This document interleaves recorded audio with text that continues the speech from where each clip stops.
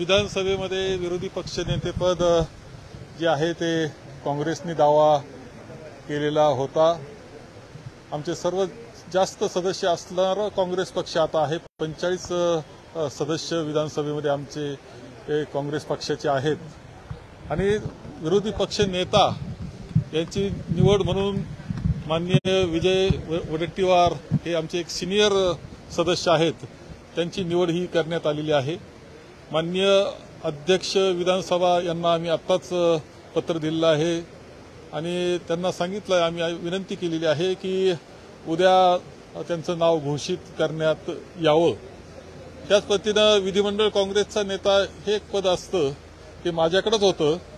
आणि ते यापुढे आपणच सांभाळावं असं सुद्धा मला सांगण्यात आलेलं आहे. त्या पद्धतीनं ती जबाबदारी माझ्यावर आहे. परंतु उद्या घोषणा होईल अशी अपेक्षा आहे. उद्या घोषणा होईल.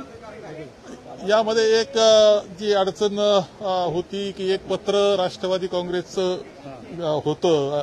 ही अडचण सांगितली जात होती. मान्य जयंतराव पाटील यांच्याशी माझं बोलणं झालं.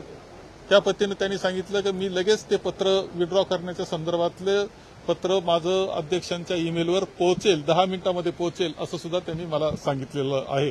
त्यामुळे अडचण आता कोणतीच राहिलेली नाही.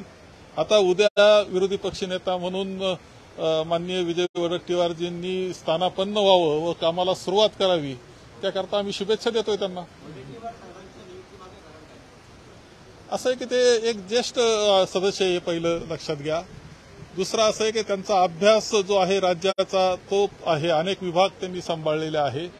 तिसरं ज्या एकोणीस साली ज्यावेळेस विधानसभेच्या निवडणुका झाल्या त्यावेळेस विरोधी पक्ष नेतेपद त्यांच्याकडे होतं. समर्थपणे त्यांनी सांभाळलं होतं आणि राज्यामध्ये सुद्धा प्रचाराची धुरा चांगल्या पद्धतीने सांभाळली होती. अनेक गुण आहेत असे की जे नेतृत्व ते करू शकतात विरोधी पक्ष नेते म्हणून. आणि सरकारला धारेवर धरण्याची क्षमता त्यांची जी आहे ती सुद्धा चांगली आहे. प्रदेश अध्यक्षपद हे विदर्भामध्ये होतं. ओबीसी नेत्याकडे होतं. कुठेतरी काही आणखी काही बदल होणार प्रा- प्रादेशिक सम- समतोल जो आहे तो परत साधला जाईल? नाही नाही असं असं असं काही कारण नाही. असा प्रादेशिक समतोल समजण्याचं काही कारण नसतं.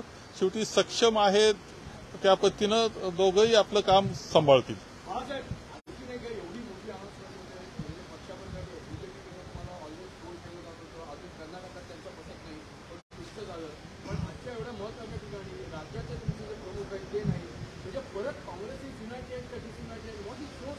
नाही नाही नाही. यामध्ये आमचे अध्यक्ष मान्य नानाभाऊ पटोलेजी हे नाही. याचं कारणही असं आहे की ते दिल्लीमध्ये आहेत. मला दिल्लीवरून फोन आला.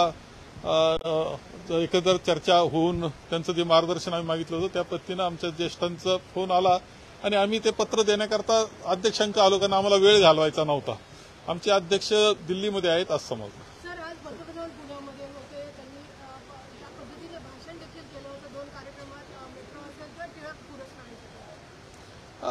ठीक आहे बा- एकंदर पुण्याला आले ठीक झालं परंतु आमची सगळ्यांची एक इच्छा आहे की ज्या पद्धतीनं पुण्याला आले तसं त्यांनी मणिपूरला सुद्धा जाऊन यावं.